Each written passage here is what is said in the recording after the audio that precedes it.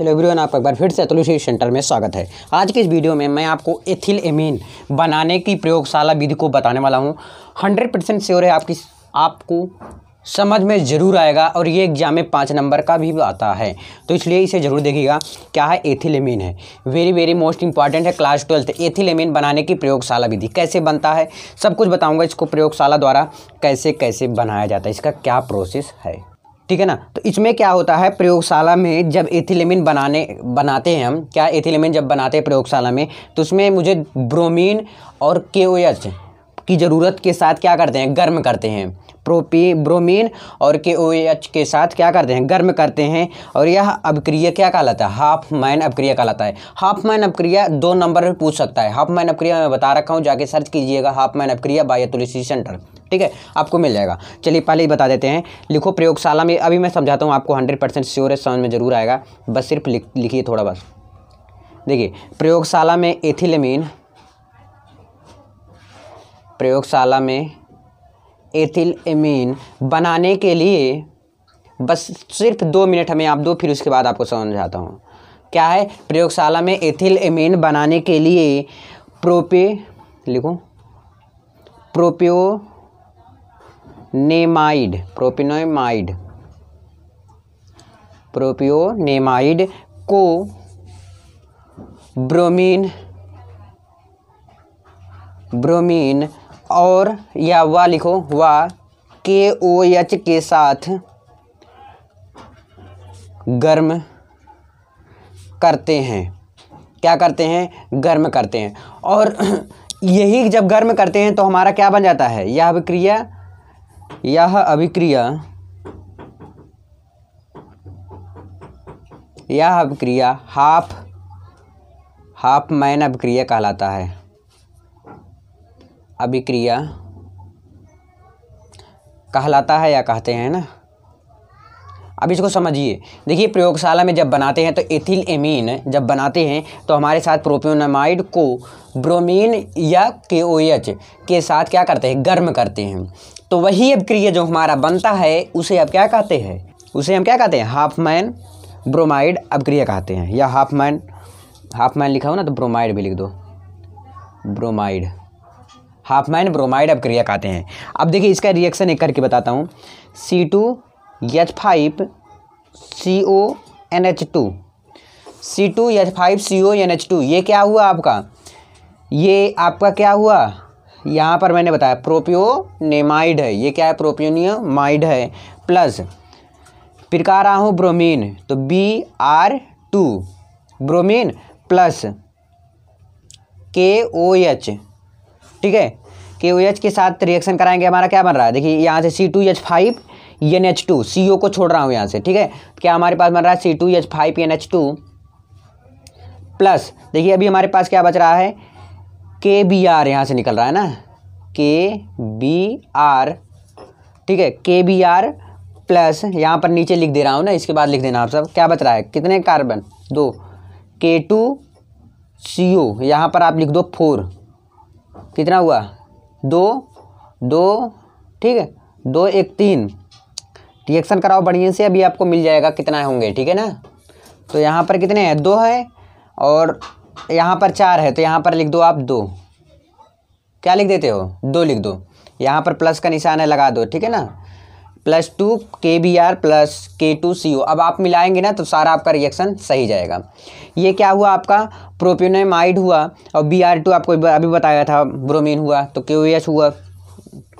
हमारे पास क्या बन गया? C two H five N H two यानी क्या बन गया आपका? एथिल एमीन बन गया। क्या बन गया? एथिल एमीन बन गया। बहुत आसान है। क्या बन गया? एथिल एमीन बन गया। और ये K B R plus K two C O इसको आप देख लीजिए, ठीक है ना? इतना समझ में अब देखिए प्रयोगशाला में कैसे बनता है। यहाँ पर मैंने डायग्राम बनाया हूँ, ठीक है ना? वह आपको दिखा दूँ, नहीं तो टाइम आपका ज़्यादा वेस्ट होता है। देखिए यहाँ पर। इसमें सबसे पहले एक गोलपेदी का फ्लास्क ले लिया, ठीक है ना? इसमें थर्मामीटर लगाया हूँ, क्या? नापने के लिए, ठीक है? यहाँ पर आपका क्या रहेगा? ये भरा रहेगा। ये क्या है इसमें? के ओ एच का बिलियन है। क्या है? के ओ एच बिलियन ठीक है, ऊपर से डालते हैं। ध्यान समझिए, अब इसको मज़बूत करने के लिए, इसको पकड़े रखने के लिए देखिए, यहाँ पर बंधा हुआ है ये। और यहाँ पर बर्नर बर्नर की सहायता से इसको क्या करते हैं? गर्म करते हैं। ये गोलपेदी का फ्लास्क लेते हैं, ठीक है ना? इतना समझ में आया ना? अब देखिए यहाँ पर थोड़ा, यहाँ पर क्या है? Ethyl amine. यहाँ से डालते हैं ethyl amine. Ethyl amine. Ethyl amine डालते हैं, ठीक है ना? और एक बात याद रखना कि एथिल एमीन जो है पचपन अंश सेल्सियस तक गर्म होना, होता है। पचपन अंश सेल्सियस से ज़्यादा नहीं, ठीक है भाई? और यहाँ पर क्या है? प्रोपियोनमाइड है प्रोपियोमाइड है, ठीक है? अब देखिए, यहाँ से जो है, गर्म जल निखरता है। यहाँ से क्या निकल रहा है? गर्म जल। गर्म जल क्या है? निकल रहा है। अब यहाँ देखिए, यहाँ पर भी थोड़ा खुला हुआ है। तो यहाँ से क्या हम करते हैं? यहाँ से हम ठंडा डल, ठंडा जल डालते हैं, ठीक है ना? ठंडा जल, यहाँ से डालते हैं हम।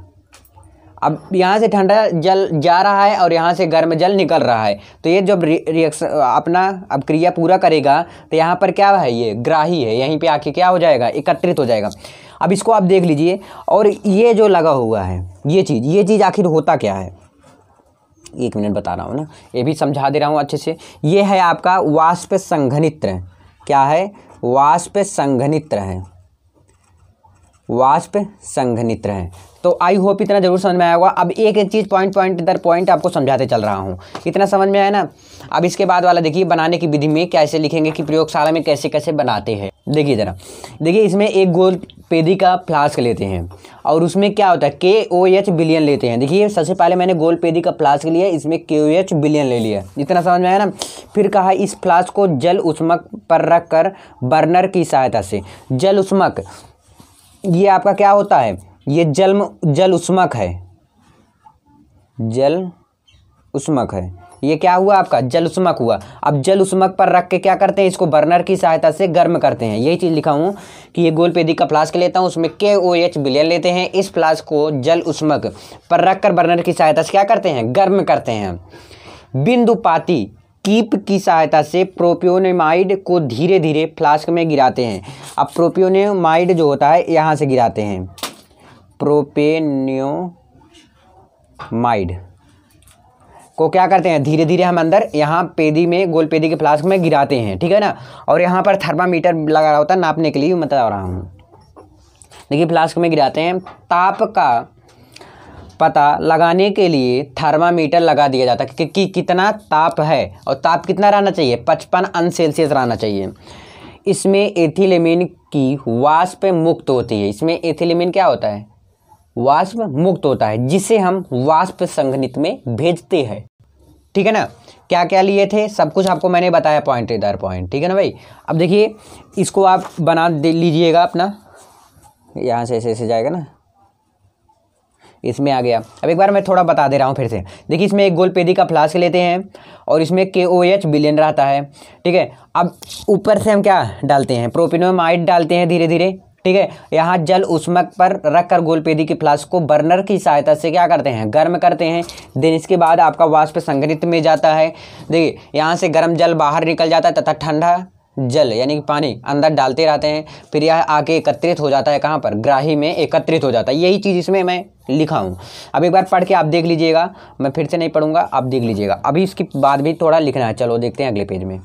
अब देखिए, वाष्प जो संघनित होता है, इसका उपयोग क्या रहता है? वाष्प संघनित का। देख लीजिए, वाष्प संघनित ठंडा करने का कार्य करता है, यानी कि ठंडा करने के लिए काम करते हैं, और उसे यह सीएल से भरे हुए ग्राही पात्र में एकत्रित कर लेते हैं। यहाँ पर एकत्रित कर लेते हैं, ठीक है ना? अब देखिए और हमें एथिल एमीन हाइड्रोक्लोराइड में की रबें प्राप्त होती हैं। क्या प्राप्त होती है? रबें प्राप्त होती हैं। इन रबों को सांद्र एच के साथ गर्म करने से शुद्ध एथिलेमिन बन जाता है। जब इसको सोडियम हाइड्रोक्साइड के साथ गर्म करते हैं तो हमारा क्या बन जाता है? एथिल एमीन प्राप्त हो जाता है। आई होप इतना ज़रूर समझ में आया होगा। लेकिन अभी भी आपको पूरा नंबर नहीं मिलेगा। अभी इसके बाद भी कुछ लिखना पड़ेगा। क्या लिखना पड़ेगा? इसके भौतिक गुण लिखने पड़ेंगे। रासायनिक गुण लिखने पड़ेंगे, ठीक है ना? तो सबसे पहले भौतिक गुण लिख लेते हैं। हेडिंग डालिए भौतिक गुण। भौतिक गुण। भौतिक गुण में क्या रहेगा? ध्यान समझिएगा इसके। बहुत आसान है, कुछ नहीं कठिन है, ठीक है? देखिए, भौतिक गुण में इसका जो सबसे पहले देख लीजिए, क्वथनांक कितना होता है।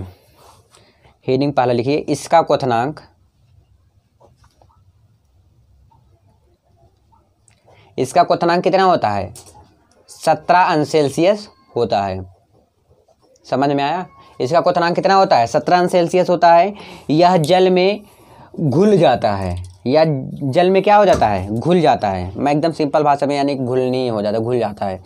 लिखो, यह जल में घुल जाता है। घुल जाता है। इसके ये भौतिक गुण है। तीसरा लिखो, दो, तीन, चार लिख दोगे, ज़्यादा लिखोगे, बताए रहूँगा तो आपको समझ में आ जाएगा। यह क्या होता है? यह रंगहीन ज्वलनशील गैस है। यह रंगहीन यह रंगहीन ज्वलनशील गैस है। ज्वलनशील गैस है। यह क्या है? रंगहीन, ज्वलनशील, गैस है। तीसरा पॉइंट क्लियर हुआ। चौथा एक का और लिख लो। देखिए, यह क्षारीय प्रकृति की गैस है। यह क्या होता है? क्षारीय प्रकृति की गैस है। यह क्या होता है? क्षारीय प्रकृति का होता है। या क्षारीय होता है। ठीक है भौतिक गुण समझ में आ गया। अब हेडिंग डालिए अगला। रासायनिक गुण। रासायनिक गुण में एक रिएक्शन करा के दिखा दोगे ना तो आपका हो जाएगा। देखिए, रासायनिक गुण में किससे करा रहा हूँ? एच सी हाइड्रोजन क्लोराइड के से करा रहा हूँ ना। एच सी एल से जब क्रिया कराएँगे तो हमारा क्या बन रहा है? देखिए C two H five N H two ethylamine plus किससे करा रहा हूँ? एच सी एल से। बस ये तो सिंपल सी बात है यार, बहुत आसान है। सीधा लिख लो ऐसे जैसे लिखा है ना। क्या लिखा है? C two H five N H two ये N H two in to यहाँ पर लगा दो, बस नहीं तो मत लगाओ एच सी एल लिख दो यार, लगा दो अच्छा रहेगा ना। बस यही एच सी एल से क्रिया करा के अगर एक दिखा दोगे, आपको पूरा का पूरा नंबर मिल जाएगा। आई होप समझ में ज़रूर आएगा यदि समझ आए प्लीज़ लाइक करिए। अभी तक चैनल को सब्सक्राइब नहीं किया तो प्लीज़ सब्सक्राइब करके बेलाइकन प्रेस कर लें, जिससे कि आने वाला हर एक वीडियो का नोटिफिकेशन सबसे पहले तो पहुँचिए चलो, जाओ फुट बाय